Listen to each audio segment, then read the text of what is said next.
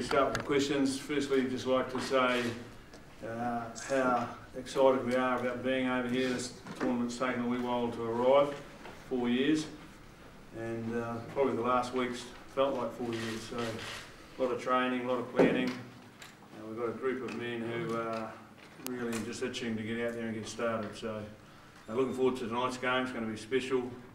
First uh, game of any tournament special. So England, Fiji. I'm sure we'll see a rousing performance from both teams, and uh, hopefully the country uh, will get all behind the World Cup. And um, wherever we go, it'll be exciting and be great to connect up with the, the people around the country. Was it a relatively straightforward um, team to pick, or did it take quite a bit of painting over? Pretty straightforward, end of the day, yeah. Um, obviously, we've got another game in four days' time, so that was taken into consideration. Um, but yeah, at the end of the day, pretty straightforward. Steve, is the bench maybe the hardest part to pick your team? Uh, no, not really. No. I think, um, we, we, we've got 31 players who could, you know, step up and start in any of the test matches. Um, but you, you just got to look at who you're playing and get your combinations right and, and then sort out what you want on your bench. You know, do you want back three cover? Do you want midfield cover, for example? Um, do you want uh, you know, three locks or in this case we've got another game four days time so using the only three locks we've got would mean they'd all have to play both games so we don't want to do that.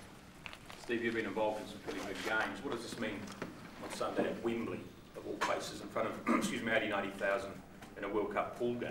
Yeah, well, that's that's uh, impressive in itself, isn't it? You know, there's a lot of history comes with Wembley. I've never been there um, personally myself uh, from a game point of view, um, and I don't think too many of the players have. So, but we all understand and, and know the history of Wembley, and uh, it's a special arena and special history, and you know, history seems to excite this team a wee bit. So that'll be good. And you know, 92, 93,000 people.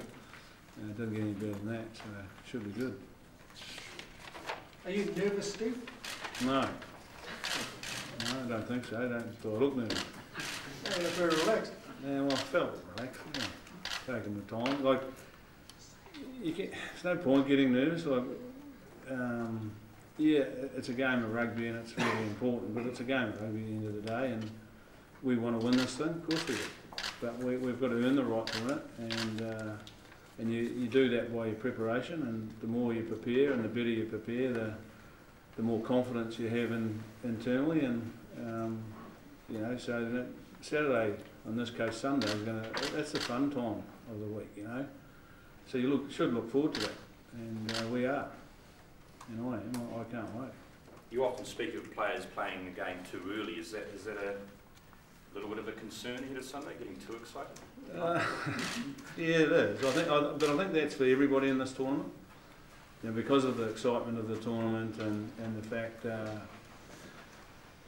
it's the pinnacle of everybody's career, whether you play for New Zealand, England, Argentina, Japan. You know, this is the place you want to be at. And um, until you get the first one out of the way, it seems to, you know, you're like a duck sitting on the pond, you're just treading water underneath, but uh, sitting still on the top and uh, you know, we're, probably sick of treating water. We want to get moving.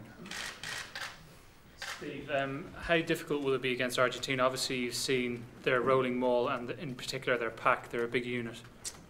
Yeah, they're a big unit and they're a good unit. Like we, we've got to know them pretty well over the last few years uh, with them coming into the Rugby Championship. Um, so we'd, we'd expect a, a, real physical battle, but they've got some classy backs too. So um, and look, and what we know about Rugby World Cups is everybody, every team will play at a higher ability than they have prior to whatever they've done before they get here. Everyone gets up for it, and uh, you know, we'd expect that from Argentina. No team has defended the Rugby World Cup. Just how difficult will it be to, to do so?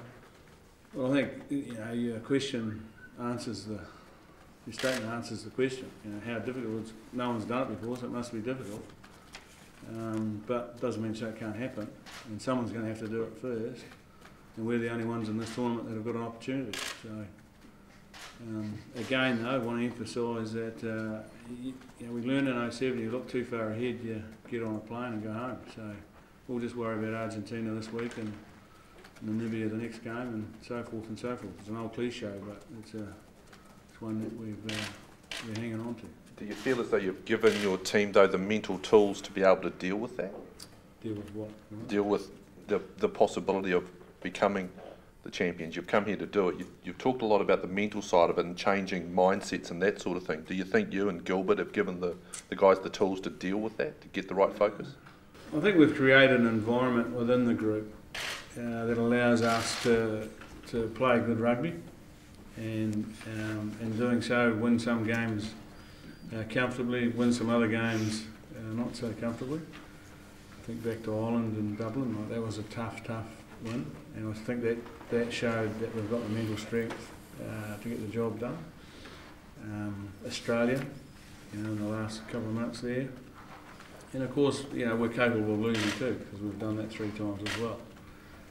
Uh, chuck a couple of draws in, so you know, this team has got a lot of talent, and it's got a lot of self-belief. Uh, it now just needs to have the, the hunger and the desire and, and the work ethic, and, and use the luck we get. Like, we'll get our share of luck and we'll get our share of bad luck. How we use uh, that luck and how we deal with the bad luck um, you know, will determine how far we go into this tournament. But you I'm confident that what we've done the last four years has put us in pretty good shape to give it a good rattle. Steve, you've been, have you been to officiating meetings? Have they had Officiating meeting. officiate, yeah. Is that for fishing or? Generally. Um, Oh, you're right, I was like that myself day. um, have they had a sit down with all the coaches? Yeah, yeah, they had everybody. And uh, what's, what's the thing I'm looking at? What are the things? Oh, the usual, same stuff. Yeah. So I won't bore you with it. But, you know, they're looking at the, the, uh, the tackle, no hands on the ground, they're looking, you know, closer at foul play, which is great. Um, the collision in the air, so it's got to be a fair contest. Uh, scrummaging straight. Um, yeah, so they're the key ones. Steve, what's your level of confidence that the things that you've been told by the referees will actually be what you see play out over the next six weeks? Why don't you just give me a shotgun and, and shoot myself? Um, well, all I know is the, the game is extremely difficult to read. And uh, you know, the most difficult area in the game at the moment is the breakdown and, um, and the offside, you know, because the ref's so busy looking at, at the breakdown. Um, all we want is them to be consistent in the one match. That's all I ask. If you know they're going to miss some things, and you know we just got to deal with it. Um, and, and I'll make mistakes, just like I do as a coach, and, and our players do as players. And again, we just have to deal with it. But if they can be consistent, if, if uh, that's offside today, then that's offside for the whole game, uh, as an example. And if they do that, then you know no one's got any complaints. Um, Steve, you mentioned the, the Irish game in Dublin. How important was that in terms of the, the mental side of things? How, how important was it to win that match in Dublin? yeah, pretty important at the time. And was it important in the development of that mental strength you're talking about in the All Blacks? Well, yeah, I think it is. Yeah, like there's no doubt about that. Like, particularly for the young guys, um, you know, the older guys and and your leaders, they've been there before and done it. Um, but you know, the calmness and the clear-headedness to be able to to get the process of what we did uh, in those last couple of minutes um, is massive. And for a young player to go through that and realise actually if I do stay calm and I do concentrate on what I have to do right here and right now rather than you know worrying about what's on the scoreboard, uh, you know anything's achievable, and, and it does give the young players a lot of confidence, no doubt about that. Steve, do you watch a lot of games in the next two or three days? And, and, and how much of a gauge do you get off those games from other teams, if, if so? Well, I enjoy rugby, you know, from a spectator's point of view, and there's some good games going to be on. Um, there'll be some teams we'll look at with a little bit more interest. Uh, we've got anal- analysts over here. You know, they'll be the ones doing a lot of the recording, and, and when the time comes, we'll look at whomever it is that we, we're playing with a little bit more depth. But like tonight's game is going to be fantastic, I reckon. You know, I'm not sure how many, how big Twickenham holds now, it 86,000? And you know they'll put on a, a show, won't they, beforehand? So that'll be good. And and then you know letting two teams uh, go at it. And the Fijians sound like they're really up for it, so that's going to be exciting. And you know the English they'll be up for it. It's home game, so it should be an exciting way. And, and hopefully the rugby is really high quality, and, and the people are uh, you know throughout the country and all around the world. You know, realise wow, this is going to be something special. Steve, do you think the Rugby Championship has improved the depth of Argentinian rugby? Have you seen that over your time? Um, yes and no. I want to qualify my yes. Um, look, getting exposed to playing teams like ourselves, South Africa and Australia every year in a tournament type fashion, I think has improved it. Um, the biggest problem with it though is most of their players have been coming out of Northern Hemisphere seasons, and I don't think you know, they're coming off a hard season, not getting any um, opportunity to uh, have an off season, pre-season, so to speak. Uh, so it's been tough for them in that respect. I think with Super Rugby coming, you know, them, the people they're signing, it's just about the Argentinian team signed. So it's going to be a heck of a strong super side. And I think that'll really expose them again to more and more high quality uh, rugby um, as a team rather than individually individuals being scattered all over you know the world. And you know I, I think they'll improve dramatically because of that. Do you think then that given the lead in time, the conditioning time, all of that, that it makes Argentina, who are always dangerous at a Rugby World Cup, even more dangerous than they have been in previous tournaments? Yeah, well, they'll, be really dangerous. They've already beaten South Africa this year, um, and, and they beat them well. Uh, I, I think they've handled their preparation really well. They've given, given a, a large uh, group of them some time to have a pre-season. Um, while the Rugby Championship was on, they didn't play their best side, I don't think, the whole tournament um, because guys were, were off either injured or, or you know, working in a pre-season type environment. Um, so this team they named today will probably be you know, the first time they've really named their best side and you know, when they're at their best they're very good. Steve, do you um, do you tell your players to embrace the tournament, get out and watch as many games as they can, see as many things rather than cooning themselves away, or do you just let them go about their own way?